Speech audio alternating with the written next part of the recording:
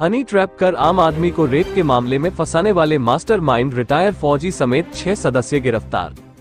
गिरफ़्तार आरोपियों के कब्जे से साढ़े तीन लाख रुपए, पाँच मोबाइल फ़ोन दो चेक पचास हज़ार के स्टाम्प बरामद। मिस्ड कॉल से आम आदमी को जाल में फंसाती थी महिला सदस्य।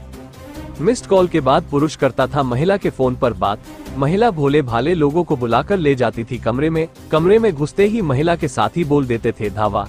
महिला द्वारा फंसाए गए युवकों के साथ गिरोह के लोग करते थे मारपीट। युवकों को रेप के मामले में फंसाने का डर दिखाकर करते थे अवैध वसूली।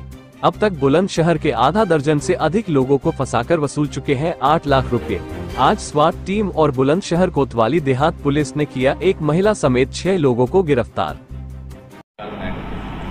एक व्यक्ति द्वारा ये गोपनीय सूचना दी गई थी कि उनके साथ एक हनी ट्रैप का केस हुआ है। उस सूचना पर एसओजी कोतवाली देहात और शिकार सलेमपुर थाने की पुलिस को लगाया गया था।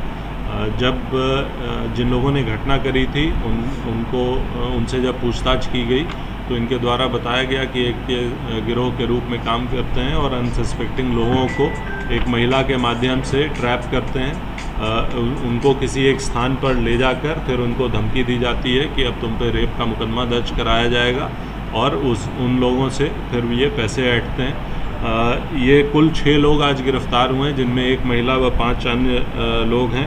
जो महिला है वो पूर्व में हत्या के मुकदमे में जेल जा चुकी है। इसके अलावा अन्य लोग भी इसमें इन्वॉल्व हैं जिनका अच्छा खासा आपराधिक इतिहास है।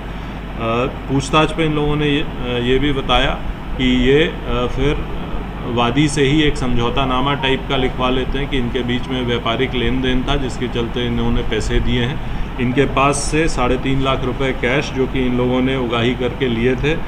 पाँच मोबाइल फ़ोन जिसमें कई साक्ष्य भी बरामद हैं। दो चेक जो कि ये लोगों से ले लिए थे पैसे लेने के नाम पर। और एक पचास रुपये का स्टैम्प पेपर इनके पास से बरामद हुआ है। इन छः लोगों को न्यायिक अभिरक्षा में भेजा जा रहा है। इनके कुछ अन्य साथियों के भी नाम पता चले हैं, जिनकी गिरफ्तारी के लिए हमारी टीमें लगी हुई हैं। जल्द उनकी भी गिरफ्तारी सुनिश्चित की जाएगी। इनके विरुद्ध गैंगस्टर एक्ट के तहत भी कार्रवाई सुनिश्चित की जाएगी तथा इनका गैंग पंजीकरण करवाया जाएगा। पूछताछ में इन्होंने पाँच से छः घटना करनी बताई है। अभी दो लोग हमारे सामने आए हैं जिन्होंने मुकदमा पंजीकृत कराया है। कुछ लोग अभी लोक लज्जा के चलते सामने नहीं आ रहे हैं। उनको भी हम लोग कन्विंस कर रहे हैं कि वो भी इन पर मुकदमा पंजीकृत करना